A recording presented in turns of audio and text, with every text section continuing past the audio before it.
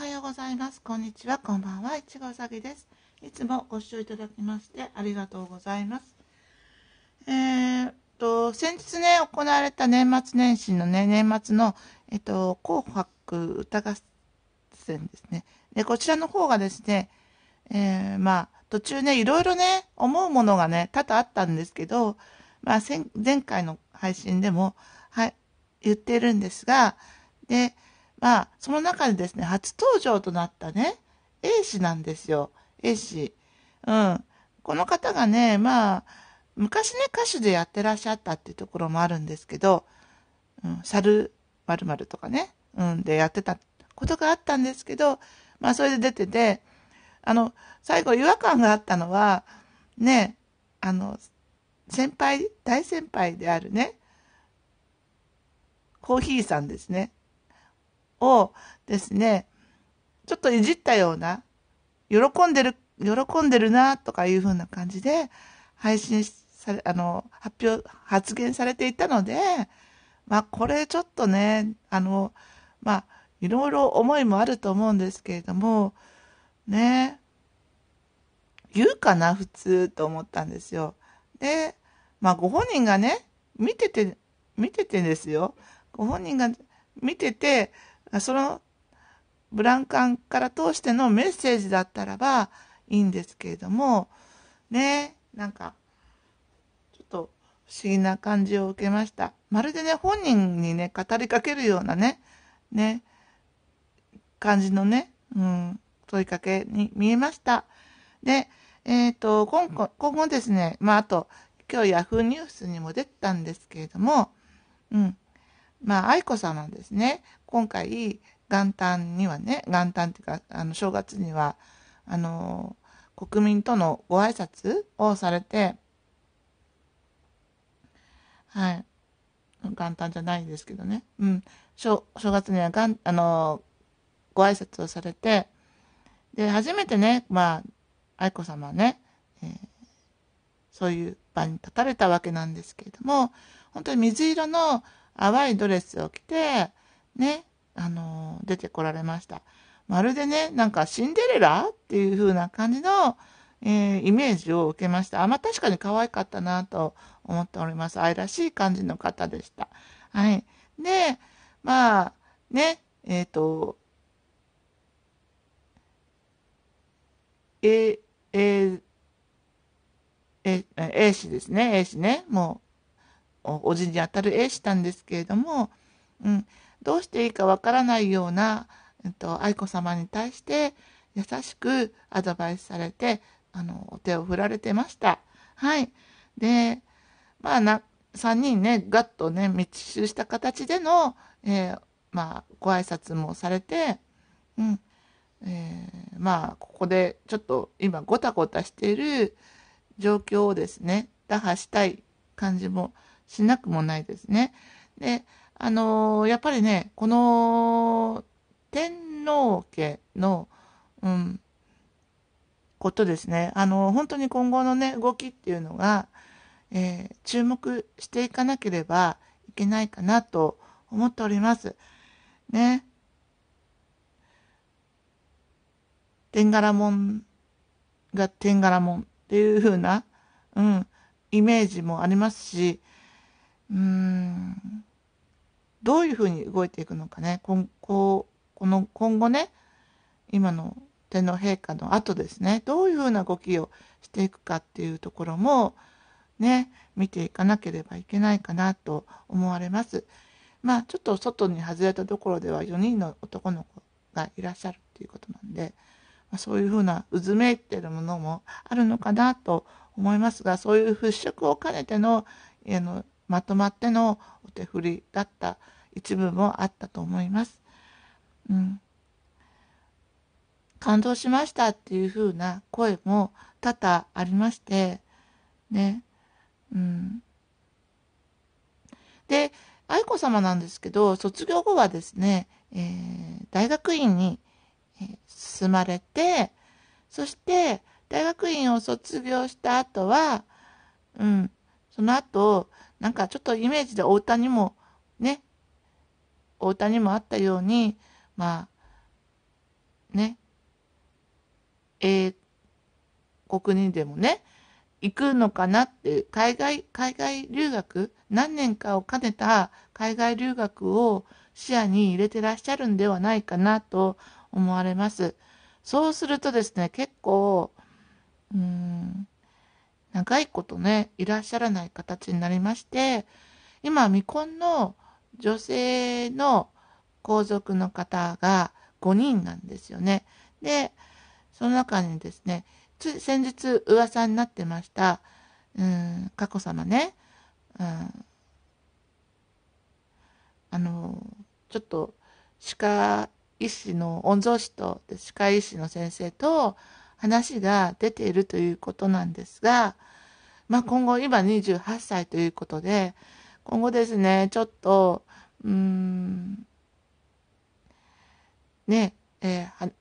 こう、離脱されたいっていうふうな思いもあるのかもしれないんですけど、ご結婚もあるし、やっぱりお年頃ということで、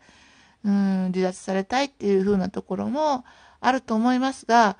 えー、まあ、年にね、7回だか8回だとかね、7回ですか、えーかえーと、各地にね、訪れてらっしゃる、ね、方なんですが、まあ、その5人っていうのでね、愛子さまがね、海外に行かれてしまったりとかすると、その分ね、えー、また、遠のいてしまうんじゃないかっていうピンチな状況にも見られます。はい。で、えー、まあ政治のことですね。政治のこともね、あのいろいろね、考えていかなければいけないかなと思いますし、日本は、まあ、太陽の子にありますように、2つのボールが、おにぎり、大きなボール、愛、愛を込めて娘、息子に握った母親の、よいしょ、よいしょと握ったおにぎりですね。そちらの方がですね、うん。二つのボール。日本はもう本当そういう痛みを感じてきた年な、国なので、すごくね、そういうところをね、きっちりね、あの考えていかないといけないかなと思います。で、MH さんの最後のドラマなんですけども、まあちょっとね、えー、ドラマのさっきお話しした、えっ、ー、と、キスシーンですね、チュッてね、やったところですね。そこの前のシーンですけど、ちょっと加工がね、結構あったりとかして、うん。えっ、ー、と、私の中でも歯の、歯の方とか、ちょっと不確かな点が多々見られます。で、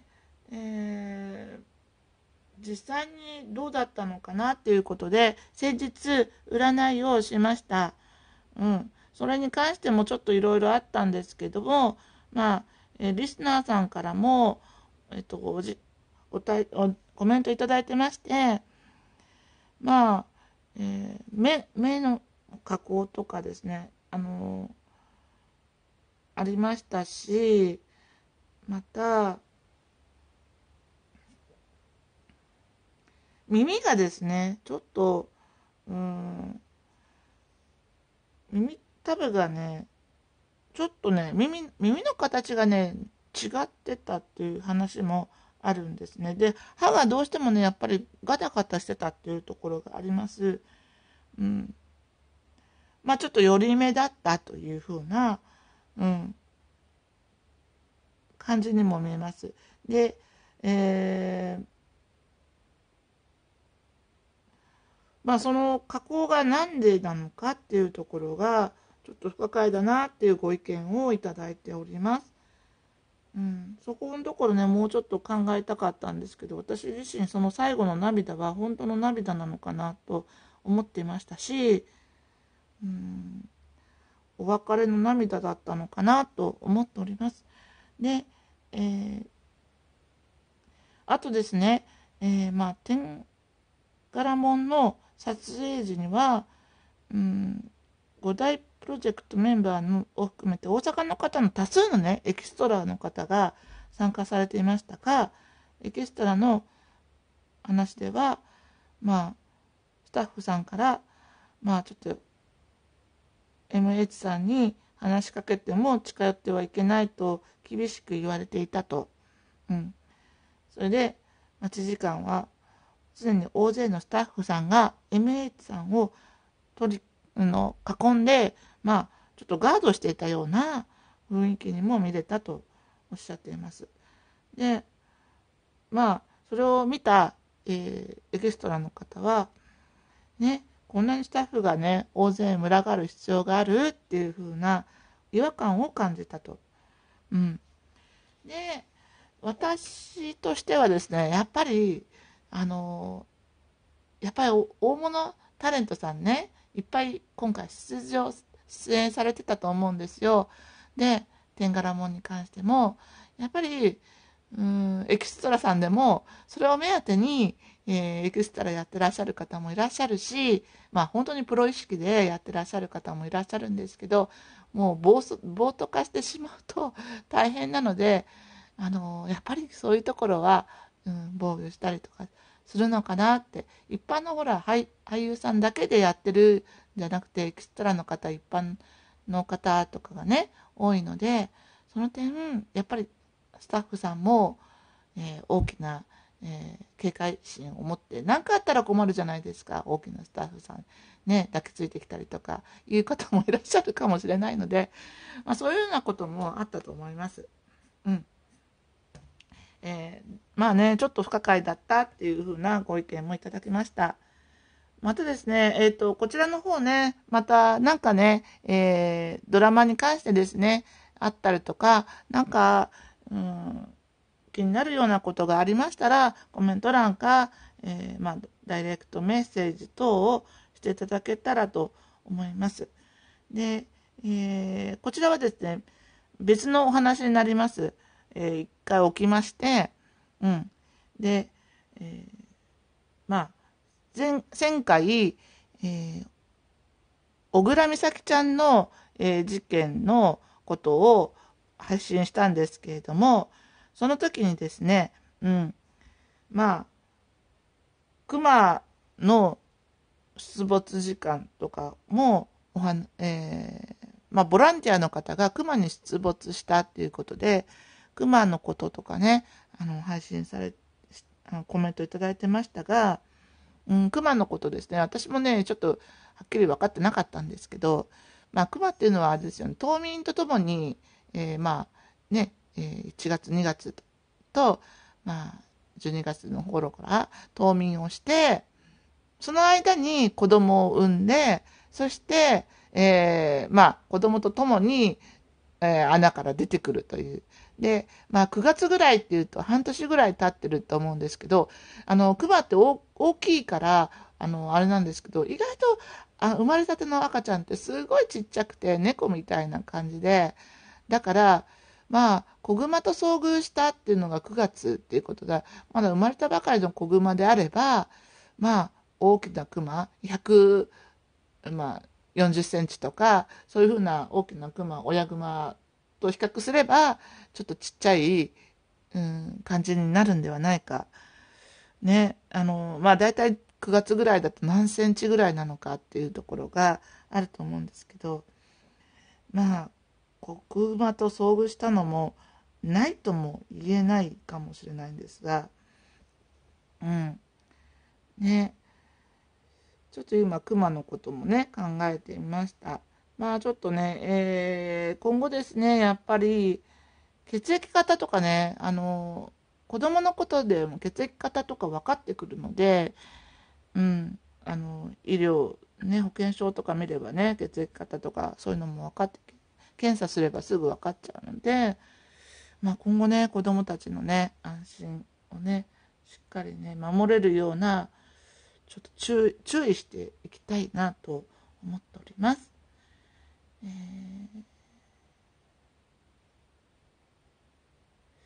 ね。千葉の方でもね結構ねあの不審情報不審者情報っていうのが調べるとやっぱりありましてうんまあね若千葉市の若葉区の方とかでも、えー、女子中学生がとかねちょっと体体当たりされてっていうふうなこともあったりとか、うん、してますのでまあねしっかりねちょっと警備してですね、えー、まあこの間挙げたイカのお寿司っていうのをあのお子さんいらっしゃるから女の子だけじゃなくて男の子もイカのお寿司っていうことをしっかりちょっとあの子供さんと一緒に、えー、ねもう小幼稚園ぐらいになったらねもう自分の手で離れていってしまう子供たちに対して、えー、しっかり、えー、教えてあげてねあの優しい子ほどね本当に優しい子ほどついてっちゃったりとか、あの、なんか手伝ってとか、車に乗って手伝ってとか言って言うと、ついてっちゃったりとかするので、うん。だから本当にね、そういう時には、まあ、振り切って逃げれるような体制に、ね、して、私もね、道によく迷うんですよ。で、車に乗っててちょっとすれ違った人に「すいません車からすいません」とか言って「あっち行きたいんですけどどっちの方ですかね?」なんていうふうな「ここからこの道そのまま行ったらいけますかね?」みたいなこともあの聞いたりとかするんですけど本当にね優しく答えてくれる近寄ってきて優しく答えてくれる子もいるんです。だから本当にそういうふうなことが自然にできるような安心してできるようなあのやっぱりねこう地域的なケアですね。やっぱり通学時間には家の門の前に立ってで、花の手入れをするとか、何かこう、やっぱりね、何か行動しなくても、その子供たちが帰ってくる時間に、こう、自然に見守りができる、やっぱりこう、シニアの方とか、もうお家にいらっしゃる方とか、主婦の方とか、まあそういう方、在宅勤務されてる方とか、やっぱりそういうふうに、えー、自然にね、あの子供たちの安全を守れるような世の中にできるように、えー、行動皆さんがね、独自で考えていただけたらと思います。ご視聴いただきましてありがとうございます。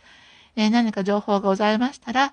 お伝えいただけたらと思います。いちごうさぎでした。チャンネル登録、グッドボタン、ベルマーク通知もお願いします。